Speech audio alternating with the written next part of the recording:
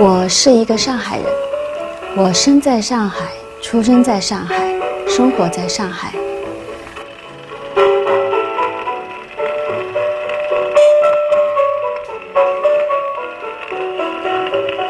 墙面呢是一种奶油色的、奶白色的木漆面，顶呢顶角线呢也是白色的，有一种几何形线条的，完全就是那种 Art Deco 的感觉。所以这种情节永远在我心中挥不去。在设计这套房子的时候呢，我也把老上海的一些元素运用在这套房子的设计中。我希望它是很优雅的，呃，有点古典的特色，但是呢又很摩登，非常的时尚。最重要的一点，这是我的家，我需要它非常的耐看。每天回来以后，会让有一种，啊，安静的心情，会突然放松下来的一种感觉。所以在做这设计的时候呢，我运用的颜色是那种灰色调、优雅的白色。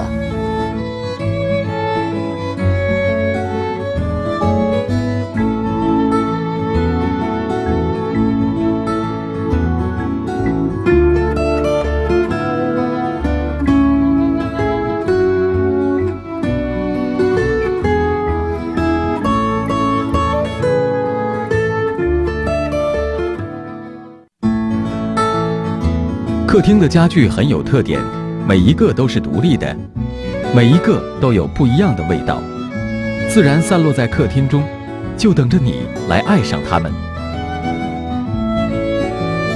我的家具不是几个月里面，或者是半年里面买来的，我是慢慢慢慢收藏收集的。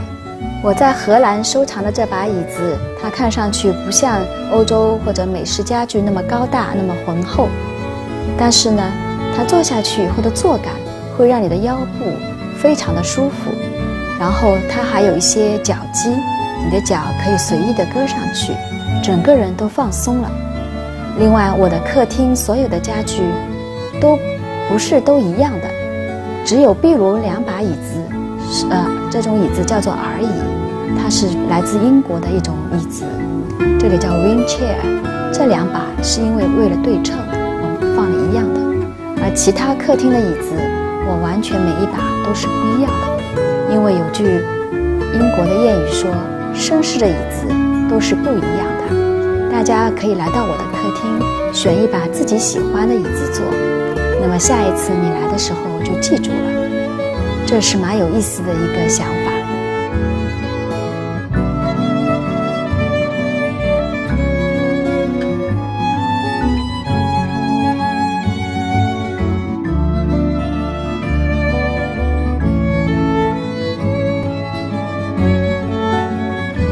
餐桌是桂峥嵘去法国旅游时淘回来的，古朴的风格与餐厅整体的基调相得益彰。这些家具呢，都是要有耐心去等的。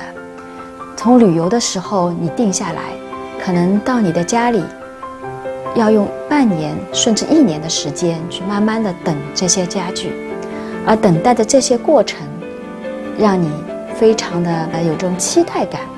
现在人的生活已经没有了期待感，什么事情听音乐也好，就是直接到这首歌，或者，呃，看电影啊，没有这种期待感。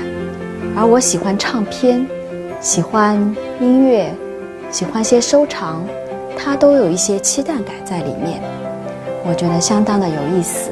这也是你生活的一部分。与餐桌相配的餐椅呢？是我在上海的摩登家居展上面看到的，非常的特别。他很少看到是这样用泥泥字来做的，呃，一层一层的，有一现代，非常的有现代感。后来配了这桌餐桌以后呢，把餐椅搬过来一放，觉得还是非常有特色的。家里所有的灯都很有特点。设计感很强的造型给空间带来一种独特的艺术气质。我选了一些非常有设计感的灯，有一些灯呢是放大的一些夸张的灯泡的款式，有一些呢是透明的亚克力的。那么在家居的搭配上面呢，我也喜欢有一些透明的家具，这样子呢你不会显得家具特别的多、特别的杂。比如说在餐厅的边上靠窗台的地方。我就，呃，配了两把那个透明的椅子。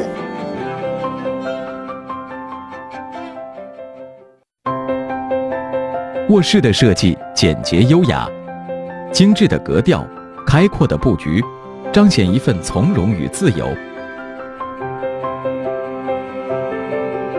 卧室就是一个私密的区域，我喜欢的颜色是那种灰色调的。白色的床单是我的最爱，所以我所有的颜色不会太多，只有灰色和白色两种色系。那么在其中呢，就会有一到两把椅子，是一些比较特别的颜色。晚上看书的时候，会显得非常的舒适。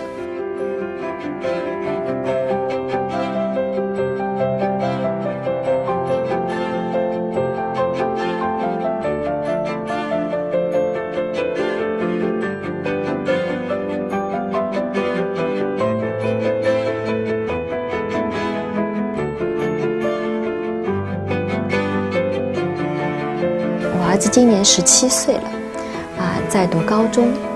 那么他的房间呢？他老是跟我说：“我不要你设计，这个房间是我住的，我自己来。”所以我就让他自己充分的发挥。每一个人都是最好的设计师，啊，把你的生活，把你的爱好全部能够表达出来，那么你就是生活中最好的设计师。这个氛围里面，我们看到，呃，有明显的一些细节，法式的一种柔和的一部分。那么在家具配饰和呃灯具的选择呢，它又是现代的、浪漫的，呃，不拘一不拘一格的，呃，看起来呢是互相没有什么直接的联系，但实际上呢是主人文化、主人生活的一种体现。呃，岛台的生活的呃场景的厨房的部分呢。跟客厅联系的也很紧密，这说明女主人呢，呃，对生活的要求是非常呃多元的，啊，另外也是我们现在流行的 living kitchen，就是呃厨房社交啊这种方式跟我们这个客厅的结合，啊，应该还是很精彩的。呃，在细节方面呢，很用心，你包括封口啊，包括一些那个线角啊，它都有一些纹样的出现。嗯，虽然呢，就是说有一些的风口的布置的位置呢，可能不尽人意，但是呢，这都不是太大的问题。